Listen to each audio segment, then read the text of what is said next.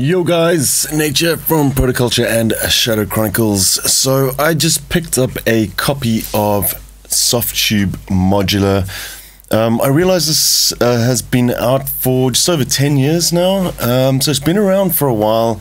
I remember demoing this when it first came out. Um, so I've like over the past two years now just been um, uh, trying out various different options as well. Uh, so we're going to take a look at Softube Modular now. We're going to put together just a basic patch. I'll show you guys how to kind of hook hook things up, um, and just talk about like what the other options are and what the sort of benefits uh, and the downsides to Softube Modular is.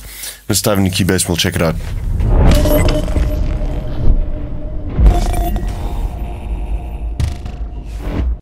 Right, so here we go. Softube Modular. Um, I've I'm demoing a few of the other uh, add-ons to the Intellijel uh, Intellijel modules I was interested in. Um, I'll take a look at the mutable instruments as well, although these are kind of um, uh, yeah, clouds is really really good, but I, I have a lot of stuff that does granular things at the moment. Um, so the thing that most impressed me with uh, Softube Modular, I just picked it up now for fifty bucks or something. They've got a sale running currently. Um, the thing that strikes me about this the most is the sound quality. Um, I just kind of after trying all these other ones, uh, I, uh, Reaktor's got the benefit of having uh, the Reaktor user library, so there is a ton of um, uh, third party or, or user created modules that you can load up. Some of them really good, some of them not so good, but this is also kind of my problem as well. The same goes for VCV Rack. And I know I'm going to have people jumping in the comments saying, oh, you got to try out VCV Rack. I have used VCV Rack. I like it as well. Um, my problem with VCV Rack and Reaktor is just kind of um, module bloat, uh, should we put it? There's just so much out there, and it's uh, you know it's almost like a full time job going through all these modules. Um, there's too much. I kind of like having a smaller palette to work with, uh, as is the case with Softube Modular.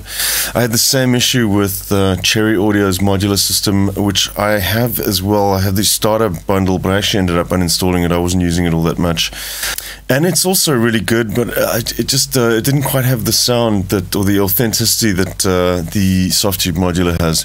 It's very close to the hardware, which is kind of the experience that I wanted. I didn't want to have something that's um, that doesn't feel like a modular synth. Um, so sound wise, like for me, the one other modular synth that I go to quite often is um, u-he's Bazille. Uh, which is quite a different beast. It's digital oscillators, um, but you get some incredibly complex waveforms out of that. And um, it's also not modular in the sense that you can add and um, remove your own modules. Uh, it's pre-wired. It's a pre-wired system. You've got four oscillators, four filters, a number of really clever uh, utility modules as well. Um, so yeah, I, I, I love Bazille, but um, as far as this kind of Eurorack emulation is concerned, uh, I've been most impressed with uh, Softube Modular. I have also played around with a actual Doepfer system as well, and this just kind of there's something about it which just feels you know uh, really close to that.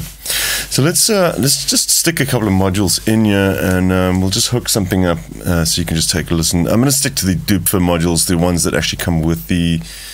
Uh, we might check out the BVD and the Vactrol um, filter as well. I'm going to leave the Intellijel, uh, Intellijel stuff alone for now. Um, so obviously these can be purchased additionally, so it can become quite expensive as well when you um, start buying all these other modules. So let's just grab a few essentials. Uh, we're going to need a, a MIDI to CV. We'll do a DAW sync as well, just in case. Uh, let's grab an audio mix. Uh, we'll do. We'll kind of just create like a bass patch first. Um, we'll do two oscillators from the Doepfer selection. Uh, we're going to need a amplifier two ADSRs. Uh, we'll patch in a LFO as well, just in case. Grab a noise generator and a. Uh, let's see. We'll try that filter and the LPG as well. Um, cool. Let's just see what we got and uh, hook everything up. So we've got a couple of modules now. Um, the MIDI to CV is the most important. This is how it's going to actually interact with, or how you're going to interact with it. Um, so this is the other thing um, that I much prefer over VCV Rack with Softube Modular is the fact that it just works as a plugin. Um, I've had endless, endless problems with VCV Rack with it not loading my sound card drivers correctly. Then trying to patch it through to Cubase is a whole nother nightmare. They used to have a uh, sort of a VST bridge thing which doesn't work anymore, and there was supposed to be work being done on putting it into a VST format, but uh, that just hasn't materialized. Uh, it being open source, um, it's also quite unstable at times. I, I, I, had quite a few issues with that, lots of crashes, uh, and this, for the most part, just seems to work pretty well. Let's just get some audio in here first. Uh, we're going to grab a note, stick that into. Uh, let's actually just keep this clean as well. To grab a multiplier. We don't have to use the multiplier for this, but just uh, for the sake of keeping everything neat. Uh, multipliers, multiples. Um, so you have to click editor to move things around. Uh, we'll just move these over but just keep. I kind of wish that you could move uh, that things would kind of automatically shift if you kind of put something there. It doesn't. You've got to kind of move each one uh, separately, which is rather annoying. Uh, let's put our multiples in here. We'll leave our audio mixed down here for now. Uh, so let's uh, get our notes into our multiples so we can get CV into these. Um, we're just going to check that we've got signal. Oh, uh, this needs to go to our main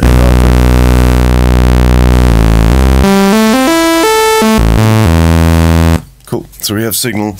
Um, now we need to somehow gate that as well. So we've got our. Uh, we're just going to move these again, just going to keep these. I'm going to stick our audio mix in here. Uh, we need to get this into an amplifier. Uh, voltage quickly. That's our LFO. Uh, let's run the saw. Uh, we'll do the square into the mixer and we'll do our saw and square on the second one as well. Uh, we'll run the output of our mixer into our amplifier that is the CVN. Uh, so we want input, audio input. And we want to be able to control the volume with an envelope. So we're going to connect the gate. Uh, we should actually put another multiple for that, but we'll just do this one like this this time. Um, you can do like a splitter cable basically to run them both. Uh, it's just neater sometimes using the multiples to if you're sending it all over the place. Um, we're going to need to trigger this one and send the output of this to our CV input to control the volume. And the output of our amp now can go to the main output.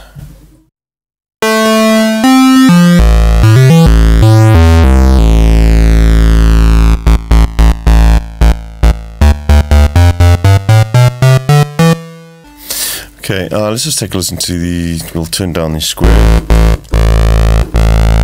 Well, actually, let's put the square in on our first one, and we will bring in the saw. Saw should actually be there. So now we've got a saw and a square from the two separate oscillators. Uh, we can take this one range down a little bit. And let's um, dial in. I'm going to move our modulation down to the bottom uh, we'll move the LFO down, yet, And let's just link up our the CV out or the output of our LFO to the pulse width modulation uh, PWCV2. Um, if you connect it to PWCV1, it uses the full range automatically. Uh, CV2 will give you, uh, uh, you can dial it in um, by yourself. Uh, and actually, we need to be going to oscillator 1, which is.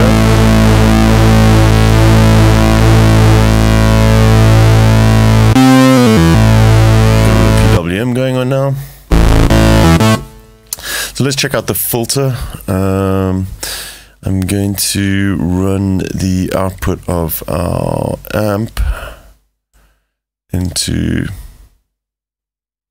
this one. Yeah, I'm going to run that into our. Uh, we'll check out the Vactrol later. Uh, we'll run this into the audio in of our filter, and let's just move our filter up here. The envelope for the filter, we're going to send the output to CV2.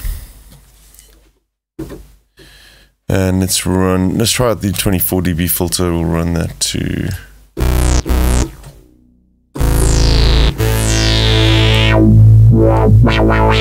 Yeah, and that just sounds fantastic. There.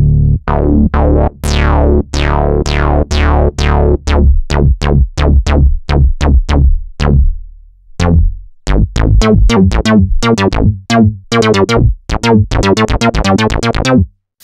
to kind of just program in a little um, uh, riff here. I'll just stick this onto step input. Uh, step input, we'll do sixteenths. There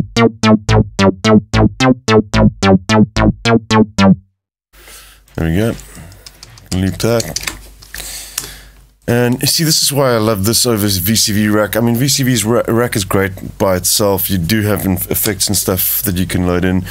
Um, this is just so much easier for me to actually integrate into a, a musical project um, rather than just doing weird sounds in VCV rack.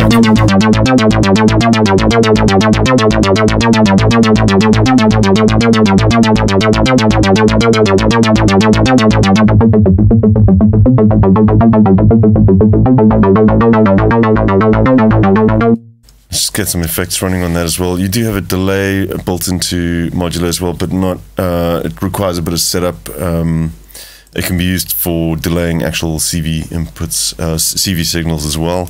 So I'm just going to grab a Valhalla delay instead.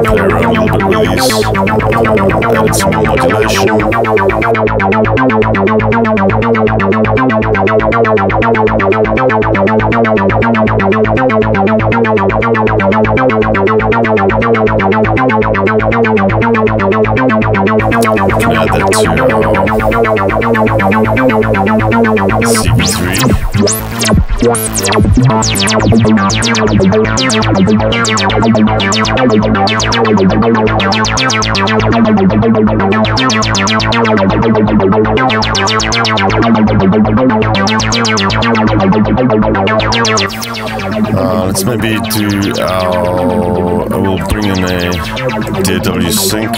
Actually, we already have one. Let's bring a sample and hold. And we will move this one down, yeah.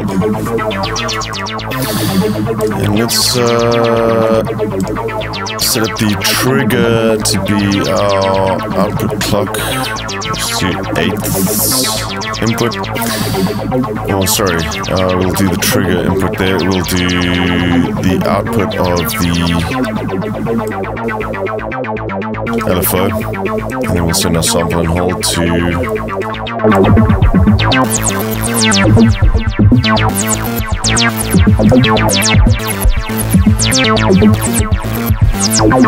There we go.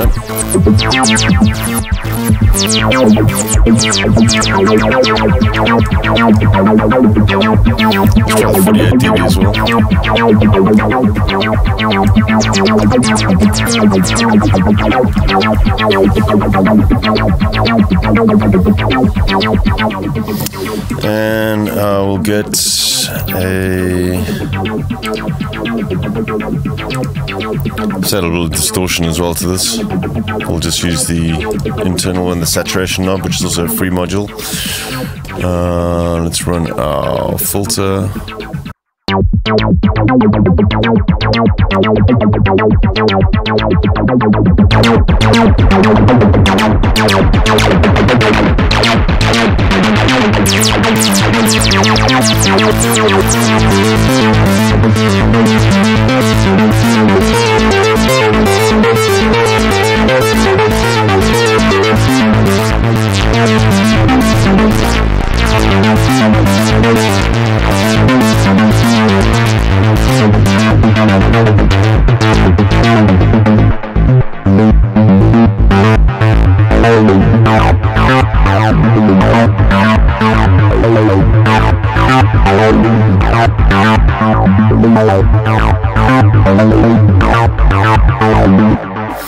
So yeah, I mean, really, really basic little patch, but um, just showcasing the sound. I, I, think the, the the quality of the the models that they've actually done for these these modules is really, really, really high. Um, it just has this analog feel to it, which which I really like. Um, so my verdict: uh, is it worth getting? Well, it depends. Um, it's not like a um, an everyday synth. Um, I think if you're wanting to get into modular, yes, for sure. Uh, simply because it, it, works really well in the DAW, and um, I don't know the, the, the other modular stuff that I tried, like Cherry Audio and uh, Reaktor. While they work really well as modular synths, they just didn't have that same magic that this has. Uh, even though they're far more complex when it comes to their selection of modules. I just uh, I, I, felt this was uh, this is a little bit more expensive. The base um, base price is eighty nine. Uh, you can pick it up on sale right now. Yeah, if you pick up some of the other modules, I can see this becoming a little bit more expensive. Um, but that said, you know, even just for the Doepfer stuff, um, they're really good sounding modules. Uh, and I think also if you wanted to get into doing uh, more or buying a, a modular rack, uh, this is a really good starting place to just kind of figure out what kind of modules you want to actually put into your your real world Eurorack system. Um, so I've actually been looking at uh, some of the Behringer stuff now as well. I'm waiting for them to release the Behringer Go case um, before I grab some of the modules. I was also quite keen to wait for some of the System 100 stuff. Uh, I've taken a look at some of the Moog modules, which look really nice. Um, but uh, I'd like to get a few of these System 100 modules as well into that rack. Um, we'll see what happens. So I thought, you know, this is a good place to kind of start, see what kind of things you use the most and the patches you want to do, and then uh, you can take the plunge buying some actual modules for yourself. So cool, guys. I uh, hope you guys are all staying safe, and um, I shall chat to you again soon right here on the Marula, Marula Music channel. Don't forget to check out the website www.marulamusic.com. And also, if you guys are enjoying these videos, uh, show us some love, give us a like, hit the subscribe button and the notifications uh, button just so that you can stay in touch with any new videos that we have coming out. Um, yeah, I shall catch you guys again soon. Peace.